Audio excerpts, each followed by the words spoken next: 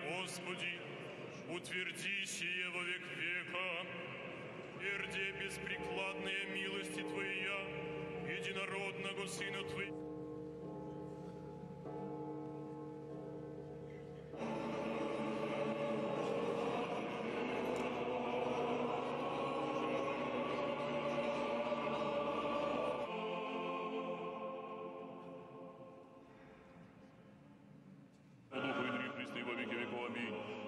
Троица, помилуй нас, Господи, и Сыну, и Святому Духу и Дрим Христи во веки веков. Аминь. Отче наш, и жизнь.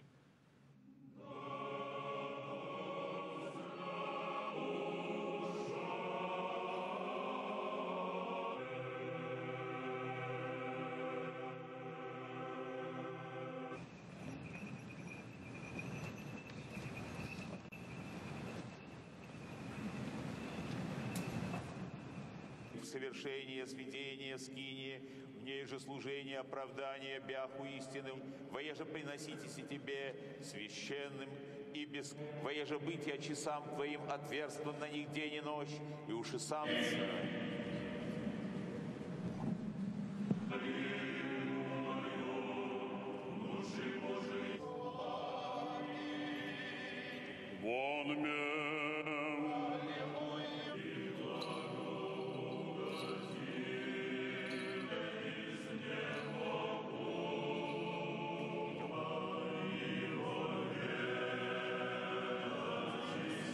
благочестие совершите и веру истинного исповедания сохраните. Сам владыка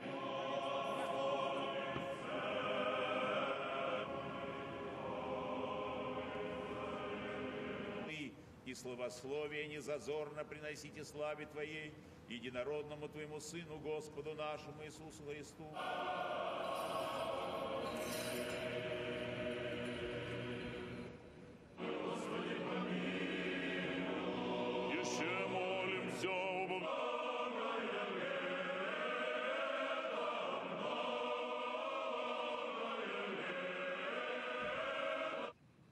Царю Небесный, утешителю души истины, и же везде и вся исполнена.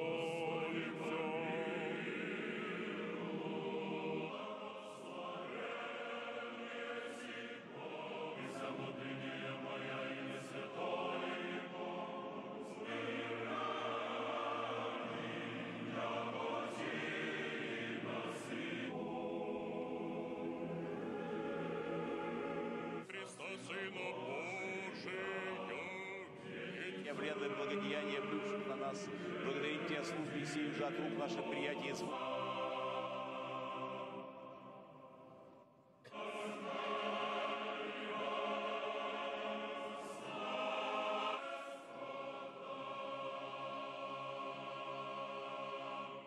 С праздником поздравляю всех!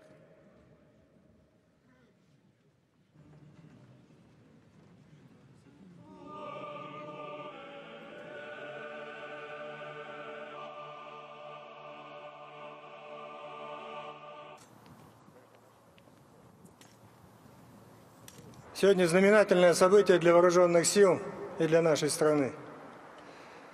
Сегодня освящен первый храм вознаменования 75-й годовщины Победы в Великой Отечественной войне. Храм вооруженных сил Российской Федерации. Я абсолютно уверен, что все те, кто будут приходить сюда, будут вспоминать о прошлых подвигах и готовиться к будущему. Я очень надеюсь на то, что у каждого из нас в сердце хранится частица той памяти, которой дорожит наша страна, наш народ, памяти о наших отцах и дедах, о предках, которые принесли эту победу и завещали нам хранить память об этой победе, традиции, хранить память о них.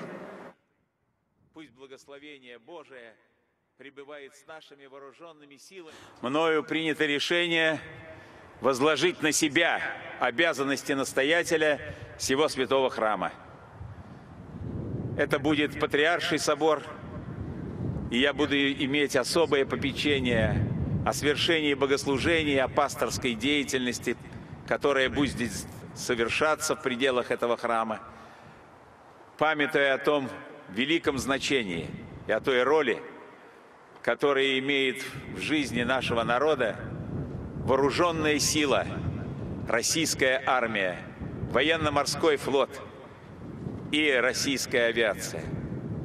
Пусть Господь хранит всех, кто, по слову апостола Павла, имеет меч при бедре, и который этот меч способен обнажить только тогда, когда наступает опасность для возлюбленного Отечества.